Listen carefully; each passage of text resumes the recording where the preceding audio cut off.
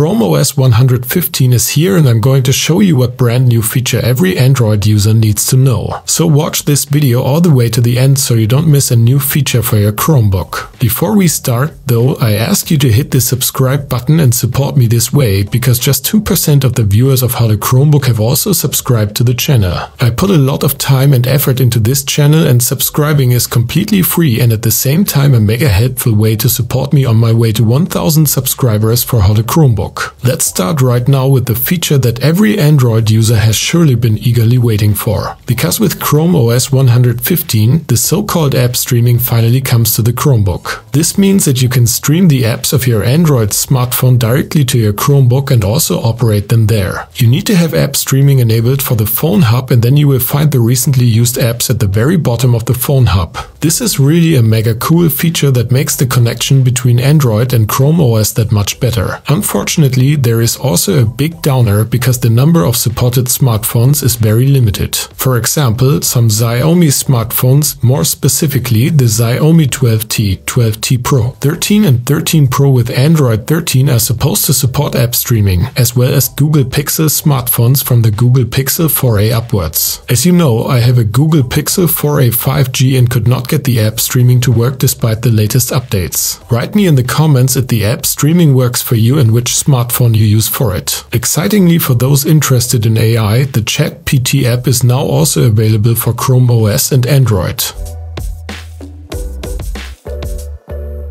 Also, you now have the option to give your Chrome browser a new design via click on Customize Chrome in the bottom right corner.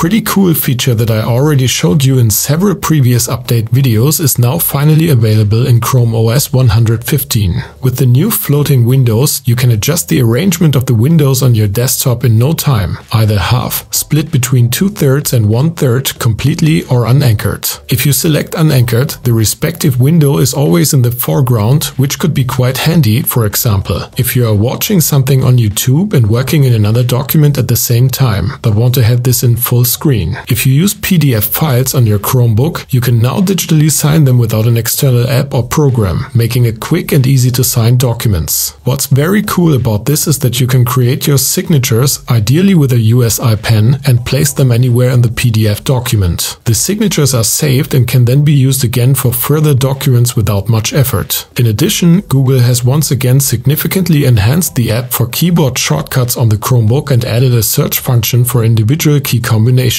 If you want to see my in-depth Chromebook tutorial with lots of helpful tips and tricks, click on the video on the left now. If you want to know how to play GTA 5 on any Chromebook, click on the video on the right now and I'll say thanks for watching and see you in the next video.